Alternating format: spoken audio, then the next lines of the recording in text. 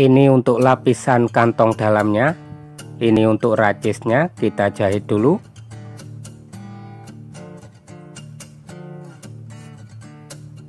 Lebarnya sekitar 2 cm sampai 2 setengah cm kemudian kita jahit pada pola baju depan jaket dan lain-lain. Kita jahit pas jahitan yang tadi kita jahit jadi kita timpakan pada jahitan yang pertama tadi. Berbelok kemudian dijahit yang satunya. Dijahit pas pada garis yang sudah kita buat dengan lebar 2 sampai 2 setengah cm diulang jahitannya jahit kunci. Kemudian dipotong seperti ini digunting. Terus serong ke pojokan seperti ini.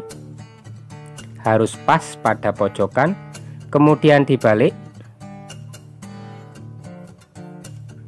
Setelah itu kita jahit yang bagian jahitan biru ini. Sampai sini jahit kunci. Kemudian kita jahit keliling dari pinggir ini dijahit dengan lapisan yang bawah. Jahit keliling. Pinggirnya. Selesai jahit kunci. Kemudian kita jahit bagian dalam. Untuk bentuk kantongnya sendiri atau sakunya sendiri silahkan kreasikan masing-masing.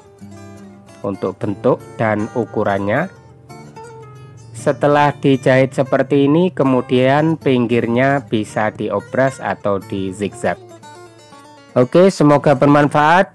Jangan lupa subscribe like dan komen. Assalamualaikum warahmatullahi wabarakatuh. Have a nice day